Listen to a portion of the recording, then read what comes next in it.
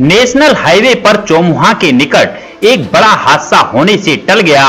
जहां PPE kit पहने ambulance चालक चलती हुई एम्बुलेंस में बेहोश हो गया जिसकी वजह से एम्बुलेंस अनियंत्रित हो गई और माइनर में जाने से बाल बाल बची घटना एनएच टू स्थित चौमुहा बंटी ट्रक ढाबे के पास की है घटना की सूचना पाकर क्षेत्र के कई एम्बुलेंस चालक अपनी एम्बुलेंस लेकर मौके पर पहुंच गए चालकों का कहना है कि मरीज लाने से कई घंटे पूर्व पहना दी जाती है पीपीई किट इस दौरान पीपीई किट पहने चालक और परचालक पानी भी नहीं पी सकते वहीं घटिया किस्म की पीपीई किट एम्बुलेंस चालकों को दी जा रही हैं, जिसमें चालक और परचालकों को सांस लेने में दिक्कत होती है